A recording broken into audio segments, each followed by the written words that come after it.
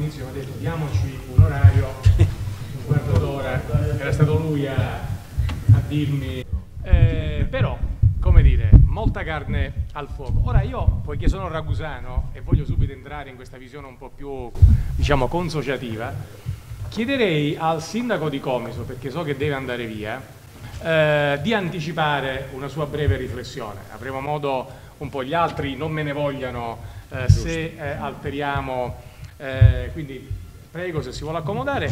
Io dico, eh, aggiungo solo una postilla, un codicillo a quello che ha detto Uccio Barone. Una cosa interessante, l'università non è solo didattica, eh, l'università è molto oltre la didattica, è ricerca, è rapporto con il territorio, terza missione, ma è soprattutto formazione, alta formazione che fuoriesce diciamo, dagli studenti curriculari eh, tradizionali. Su questo è un punto importante. E qui si gioca anche il problema del bacino di utenza, perché uno dei problemi che abbiamo avuto, e Uccio ricorderà forse una vicenda tutta modicana, quando si aprì economia aziendale a Modica, a 150 metri da noi, a 200 metri da noi, in realtà uno degli effetti che si ebbe fu che lo stesso bacino d'utenza a un certo punto in qualche modo, in qualche modo crollò. Ecco, noi abbiamo bisogno di prospettive che guardino ovviamente, che non si cannibalizzino tra di loro, ma che abbiano una visione più ampia per quanto riguarda anche eh, diciamo appunto il bacino di utenza. Prego. Grazie, grazie, buonasera a tutti. Io faccio delle riflessioni che traggo un po' oh, da quanto è stato fin qui detto e quindi mi, scusi, mi scuserete se procederò a salti e balzelli. Riflessioni che eh, sono prodotte anche da una mia esperienza, diciamo, come docente a contratto fino a qualche minuto prima che eh, svolgessi il ruolo di sindaco che oggi svolgo. Partiamo dagli stakeholder. Gli stakeholder sono i portatori di interesse e qui devo fare, se mi è concesso, una piccola postilla critica al eh, mio amico Giorgio che è l'organizzatore, perché gli stakeholders chi sono? Sono gli studenti. Non vedo in questo palinsesto alcun studente che racconti il suo punto di vista, che dica cosa significa per lui fare, o per lei fare università al sud. Cosa significa, cosa, di cosa ha bisogno l'università oggi, non solo al sud, ma in tutta la nostra penisola. Perché è da qui che dobbiamo partire. Se dobbiamo creare, come lei ha detto, professore, una università marketing oriented, si parte dai bisogni e dalle esigenze. Le conosciamo Professore Barone, o le decidiamo noi o le decide lei in qualità di preside. Lo sappiamo quello di cui hanno bisogno i nostri studenti? Questo è il punto. Ci chiediamo perché le università oggi sono veramente diventate mercantilistiche. Io mi ricordo che la, il mio approccio, diciamo, non c'è più neanche l'esame face to face, quando tu guardi negli occhi l'altra persona, no? entri in empatia con l'altra persona. Oggi ci sono i quiz come per prendere la patente, per prendere la patente. Allora, io non sto più capendoci nulla e io frequentavo la facoltà di lingue e nella facoltà di lingue laureavamo un sacco di persone. Certo, il prodotto era doctor, ma la domanda è, era doctus? E ancora, anche quando fosse stato doctus, era quel tipo di sapere e di conoscenza di cui il mercato ha bisogno? Aveva e ha bisogno? Queste sono le domande che dobbiamo porci. Non è così, perché i miei ragazzi poi, privata consiglio e timpenza, dovevano andare all'estero a farsi le ossa per imparare l'inglese, il francese, il portoghese e lo spagnolo. Questo è il punto. Cosa stiamo producendo? Scusate se uso, ma seguo la scia, come dire, del marketing. Che prodotto stiamo offrendo al mercato? È un prodotto appetibile? Il mercato vuole questo? Vuole questo il mercato? Ce lo siamo chiesti? O facciamo sempre queste, questi convegni elitari, importantissimi per carità, ma il contraltare, lo stakeholder, dov'è? Dov'è? Questo è il punto. Io temo che la nostra università sia in qualche modo scollegata dal contesto sociale in cui viviamo. Qualche università fa eccezione, ma in questo caso è l'eccezione che non conferma la regola. Questo è il punto. Questo è il punto. Perché negli Stati Uniti d'America, vero è, c'è tanto ciarpame, però poi ci sono delle strutture di elevatissima eccellenza e badate, le nostre considerate qui di eccellenza sono verso gli ultimi posti a livello internazionale. Perché? Perché lì il discorso è un altro. Si guarda al mercato, si vede quello di cui il mercato ha bisogno, dopodiché si strutturano programmi e lezioni a seconda dell'esigenza del mercato. Perché fatemi capire, se no torniamo alla nobilis et erudita peregrinazio del Medioevo, quando questi nobili che avevano pure il denaro andavano in giro anche per le nostre università per imparare come funzionava il mondo. Non siamo in questa fase, quindi la misura del successo dell'università qual è? La percentuale di persone che uscite dall'università si incastonano nel mondo del lavoro, sì o no? Stiamo avendo successo? Penso proprio di no. Stiamo producendo, salvo, ripeto, casi eccezionali delle persone che per trovare una collocazione sono costrette, quelli più bravi naturalmente, ad andarsene altrove? Io credo che bisogna ridisegnare tutto quanto, tutto quanto. Questo è il punto.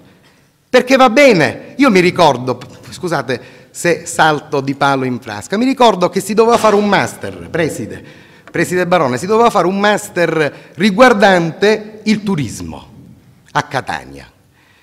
Bene, in questo master l'85% delle lezioni, non me ne voglia il mio amico Barone, erano storia di qui, storia di lì, storia di là, storia di giù, storia di su.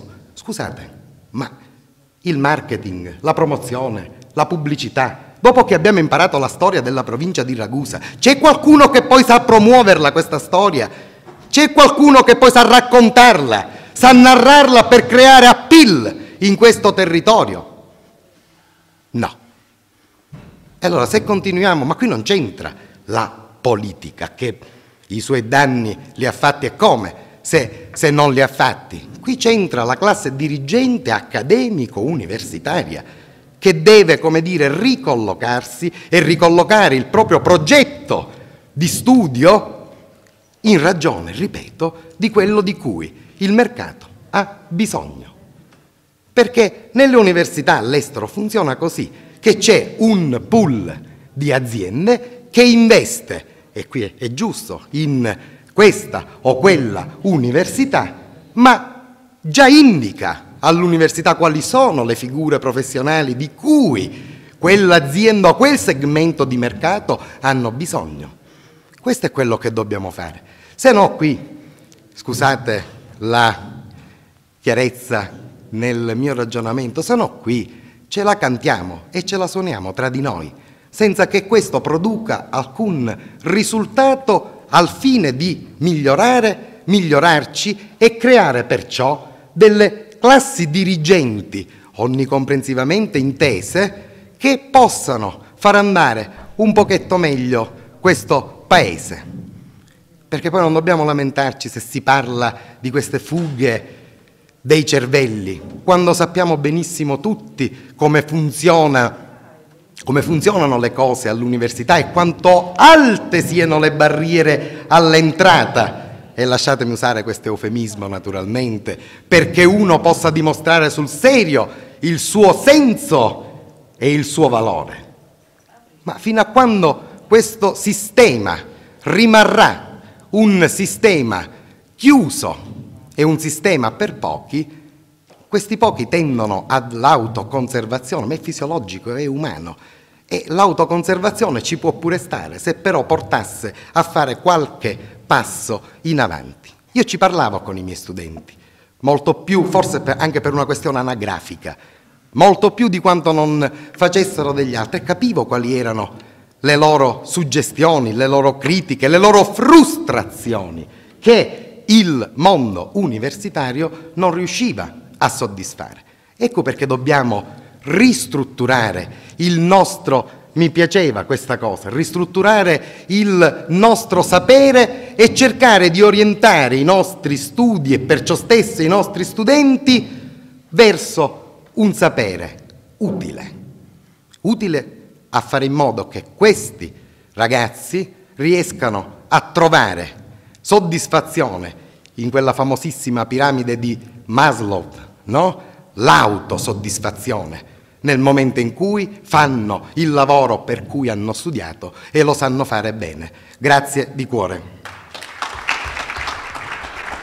Grazie al sindaco che ha spostato diciamo, l'accento della, della discussione. Per quanto riguarda la mia esperienza, devo dire che da alcuni anni, nella, nella, nella veste di delegato del mio direttore di dipartimento, alla qualità, eh, uno dei temi che ci ha eh, costantemente accompagnato è stata la valutazione, ormai questo siamo al terzo o quarto anno, dell'efficacia esterna dei nostri corsi di studio, con questionari eh, in house dati agli studenti, con incontri con le parti sociali, eh, con anche una valutazione dei corsi eh, che viene fatta alla, degli studenti alla fine di ogni eh, ciclo di, mh, di lezioni. A questo tipo di informazioni che quando io ero all'università, ma quando io ho anche iniziato a lavorare, per esempio, non si faceva attenzione, non erano neanche richiesti, eh, seguono azioni correttive, con molta difficoltà, a volte con molta difficoltà. Eh, però, per esempio, noi abbiamo radicalmente cambiato eh, molte cose dal, dagli orari del, degli esami, dagli orari delle lezioni, dagli incastri e la settimana prossima eh, presenteremo una riforma del, dei corsi di studio ehm, in cui si tiene conto un po' eh, di una serie di dinamiche strutturali.